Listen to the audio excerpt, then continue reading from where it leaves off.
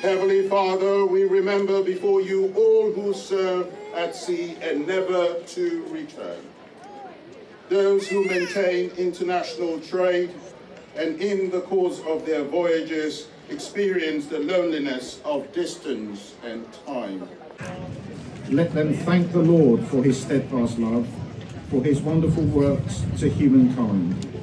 Let them extol him in the congregation of the people and praise him in the assembly of the elders.